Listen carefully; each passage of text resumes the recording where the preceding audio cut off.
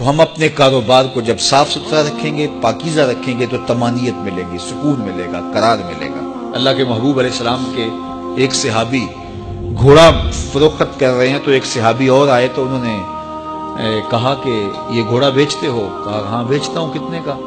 کہا، پانچ سو درم کا۔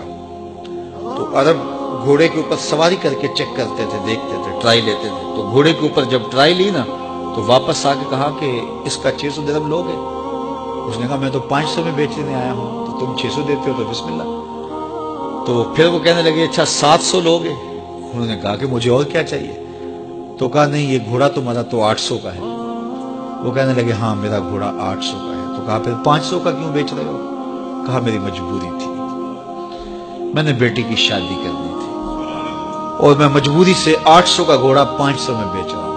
انہوں نے کہا، میرے صاحب، میرے بھائی، میں تو آٹھ سو میں لوں گا۔ جب ہے آٹھ سو کا ہے، تو میں پانچ سو کا کیوں لوں؟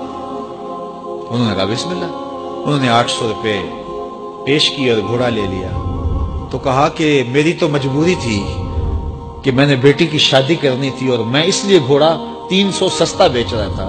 اور تم نے آٹھ سو کا لیا جب تمہیں پانچ سو کا مل رہا تھا۔ کہا، میری بھی مجبوری تھی۔ کہا، تمہاری کیا مجبوری تھی؟ کہا، میرے رسول کا فرمان میری مجبوری کہا، کیا رسول اللہ کا فرمان ہے؟ کہا، ہمارے رسول نے ہمیں سودا خریدنے کا حکم دیا ہے، کسی کی مجبوری خریدنے کا حکم نہیں دیا۔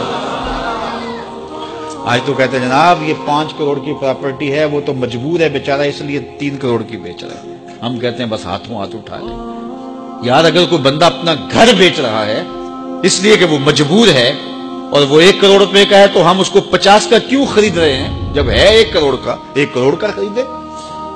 اور جو ساری زندگی لوگوں کی مجبوریاں خریدتے ہیں، فلاں پراپرٹی فلاں کی مجبوری سے خریدی، فلاں پراپرٹی فلاں کی مجبوری سے خریدی، کچھ لوگ اس طاق میں رہتے ہیں، کوئی مجبور ہو تو اس سے خریدے۔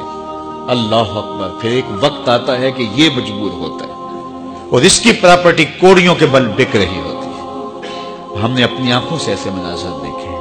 تو کسی کی مجبوری نہ خریدیں، سودا خریدیں۔ طاق میں نہ رہیں کہ کوئی مجبور ہو تو سستا بیچے۔ جو اس کی قیمت اور اس کی قیمت سے لیں، پھر دیکھنا کہ عرش کا رب اس کے اندر برکت کتنی ڈالتا ہے۔